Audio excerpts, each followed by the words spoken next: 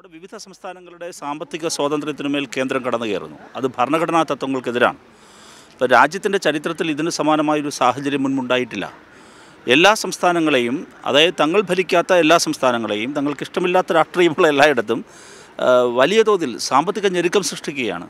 വികസന ക്ഷേമ പ്രവർത്തനങ്ങൾ നടത്താൻ കഴിയുന്നില്ല. കേരളത്തിലേക്ക് വരൂ. രണ്ടായിരത്തി പതിനാറ് മുതൽ ഇരുപത്തിയൊന്ന് വരെയുള്ള ഗവൺമെന്റ് സമയത്ത് എല്ലാ കേന്ദ്ര ഏജൻസികളും കേരളത്തിലെ ലക്ഷ്യം വെച്ച് വന്നു.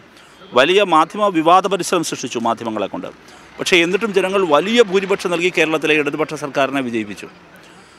ജനം എന്തുകൊണ്ട് നിന്നു എന്ന് ചോദിച്ചു കഴിഞ്ഞാൽ ജനത്തിന് അനുഭവപ്പെട്ട വികസനവും ക്ഷേമവും നടന്നു. പ്രകടന പത്രികയിൽ പറഞ്ഞ എല്ലാ കാര്യങ്ങളും കൃത്യമായി നടപ്പിലാക്കാൻ കേരളത്തിലെ ഇടതുപക്ഷ സർക്കാരിന് പതിനാറ് മുതൽ ഇരുപത്തി ഒന്ന് ഇരുപത്തിയൊന്നിലാകും കഴിഞ്ഞു. അപ്പോൾ അത്തരമൊരു സാഹചര്യത്തെ രൂപപ്പെടുത്തി അങ്ങനെ വരുന്നതിൽ വളരെ നിർണായകമായിരുന്നു. കേരളത്തിൽ വികസനം ക്ഷേമം പറഞ്ഞ വാക്കു പാലിച്ചു അപ്പോൾ ഇനി വികസനവും ക്ഷേമവും നടത്താൻ പാടില്ല. വികസനവും ക്ഷേമത്തിലൂടെയും പ്രകടന പത്രികയിൽ പറഞ്ഞ ഉറപ്പുകൾ പാലിച്ചു ദീർഘവീക്ഷണത്തോടെ കേരളത്തെ മുൻപോട്ട് നയിക്കുന്നതിന്റെ ഭാഗമായി ഇടതുപക്ഷ ജനാധിപത്യ മുന്നണിക്കും സർക്കാരിനുമുള്ള ജനപ്രിയത ഉയർന്നുകൊണ്ടിരിക്കുന്നു.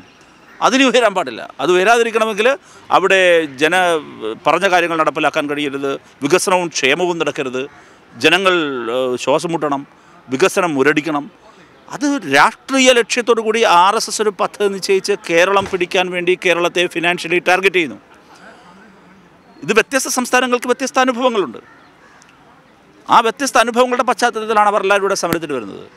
കേരളം സ്വീകരിച്ച മാതൃക എന്തായിരുന്നു? ഇത്തരമൊരു സാഹചര്യത്തിൽ ഡൽഹി സമരത്തിന്റെ പശ്ചാത്തലത്തിൽ പ്രതിപക്ഷ നേതാവിനെ ഉപനേതാവിനെ കേരളത്തിന്റെ മുഖ്യമന്ത്രി വിളിക്കുന്നു കാണുന്നു. ജനാധിപത്യത്തിൽ എത്ര ഔചിത്യമുള്ള ഔന്നത്യമുള്ള മുഖ്യമന്ത്രിയുടെ ഭരണപരമായ ഒരു സ്റ്റേറ്റ്സ്മാന്റെ ഇടപെടലായിരുന്നു അത്. എത്ര നല്ല സ്റ്റേറ്റ്സ്മാൻഷിപ്പായിരുന്നു അങ്ങനെ ഇടപെടുകയായിരുന്നില്ലേ? നിങ്ങൾ കൂടി വരൂ. നമുക്ക് ഒറ്റക്കെട്ടായി നിൽക്കാം. ജനാധിപത്യത്തിലുള്ള സൗന്ദര്യമുള്ള നിമിഷമായിരുന്നില്ലേ അത്? പക്ഷേ ആ ജനാധിപത്യപരമായ സ്വാഗതത്തെ അഭ്യർത്ഥനയെ പ്രതിപക്ഷം മുഖം തിരിഞ്ഞു. അതിനോട് തെറ്റായ സമീപനം എടുത്തു. യാതൊരു സംശയവും വേണ്ട. കേരളത്തിലെ കോൺഗ്രസ് സ്വീകരിച്ചത് വഞ്ചനാപരമായ നിലപാടാണ്. വഞ്ചനാപരമായ നിലപാടെന്ന് മാത്രമല്ല അതിന് ജനങ്ങളുടെ മുമ്പിൽ അവർ ഒറ്റപ്പെടും. എനിക്ക് കേരളത്തിലെ കോൺഗ്രസിനോട് ചോദിക്കാനുള്ള ഒരൊറ്റ കാര്യം എന്തുകൊണ്ടാണ് ഈ കർണാടകയിലെ സമരം നിങ്ങൾ നിങ്ങളെങ്ങനെയാണ് ന്യായീകരിക്കുക? നിങ്ങളെങ്ങനെയാണ് എതിർക്കുക? കർണാടക കണ്ട് കേരളത്തിലെ കോൺഗ്രസ് പഠിക്കട്ടെ എന്നാണ് എനിക്ക് അഭ്യർത്ഥിക്കാനുള്ളത്. കേരളത്തിലെ കോൺഗ്രസ് ഒരു വിഭാഗം ബി ജെ പി നേതാക്കളുടെ തടവറയിലാണ്. ആർ എസ് എസിന്റെ തടവറയിലാണ് ശ്രീ വി ഡി സതീശൻ ഉൾപ്പെടെയുള്ള നേതാക്കൾ.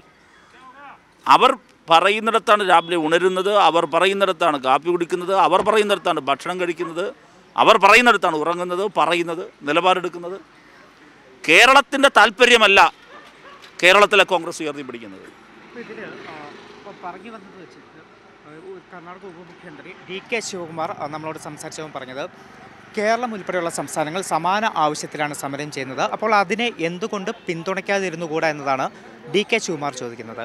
അതോടൊപ്പം തന്നെ പ്രിയങ്ക് ഖാർഗെ മല്ലികാർജുൻ ഖാർഗെയുടെ മകൻ പ്രിയങ്ക ഖാർഗെ നമ്മുടെ കേരളം ഉൾപ്പെടെയുള്ള സംസ്ഥാനങ്ങളുടെ സമരത്തെ തള്ളിപ്പറയാൻ തയ്യാറാകുന്നില്ല. ഇവരൊക്കെ തന്നെ അതിനെ അനുകൂലിക്കുമ്പോൾ കേരളത്തിലെ കോൺഗ്രസ് മാത്രമാണ് അവിടെ ഒരു മുഖം തിരിഞ്ഞിരിക്കുന്നത്. വഞ്ചനാപരമായ സമീപനമാണ് കേരളത്തിലെ കോൺഗ്രസ് സ്വീകരിക്കുന്നത്. കേരളം ഇതിലെ കോൺഗ്രസ് ആർ എസ് എസിന്റെ തടവറയിലാണ് ബി ജെ പിയുടെ തടവറയിലാണ്. ബി ജെ പി പറയുന്നത് പോലെ ബി ജെ പിയുടെ താല്പര്യങ്ങളെ ഹനിക്കുന്നതൊന്നും കേരളത്തിലെ കോൺഗ്രസ് ചെയ്യില്ല. ഇത് വളരെ വിചിത്രമല്ലേ? അവരെ ക്ഷണിക്ക അവരെ ഔദ്യോഗികമായി ക്ഷണിക്കുന്നു. കേരളത്തിൽ നിന്നുള്ള മുഴുവൻ എം പിമാരും കേരളത്തിലെ മുഴുവൻ എം എൽ എമാരും പ്രതിപക്ഷ നേതാവും മുഖ്യമന്ത്രിയും ഒക്കെ വന്ന് ഇവിടെ സമരം ചെയ്തിരുന്നുവെങ്കിൽ അത് കേന്ദ്രത്തിൽ ബി ജെ പിക്ക് ഉണ്ടാക്കുന്ന ആഘാതം നിങ്ങൾ നോക്കൂ ഇതിനേക്കാൾ അതിന് വേറൊരു ഇതല്ലേ? അപ്പോൾ അങ്ങനെയൊരു അങ്ങനെ ബി ജെ പിക്ക് നോവാൻ പാടില്ല. ബി ജെ പി വേദനിപ്പിക്കാൻ പാടില്ല. ബി ജെ പിക്ക് അഹിതമായത് ആഗ്രഹിക്കാത്തത് ഒന്നും ഞങ്ങൾ ചെയ്യില്ല. ഇതാണ് കേരളത്തിലെ കോൺഗ്രസിന്റെ സമീപനം. അത് ജനാധിപത്യ വിരുദ്ധമാണ് കേരളത്തിലെ ജനങ്ങളുടെ താല്പര്യത്തിന് വിരുദ്ധമാണ് ജനങ്ങളിതിന് മറുപടി നൽകും.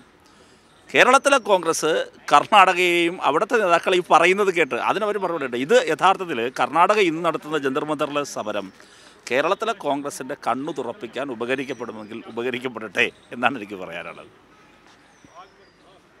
കേരളത്തിലെ കോൺഗ്രസിന്റെ നയമെന്ന് പറയുന്നത് അത് കേരളത്തിലെ ജനങ്ങളെ വഞ്ചിക്കുന്നതാണ് കേരള കേരളത്തിലെ കോൺഗ്രസ് നേതൃത്വത്തിന്റെ നിലപാട് എന്നതാണ് എ എ റഹീം നമ്മളോട് ചൂണ്ടിക്കാട്ടിയത്. ദില്ലിയിൽ നിന്നും ക്യാമറാമാൻ അതുൽ സേസിനൊപ്പം വിഷ്ണു തലവൂർ.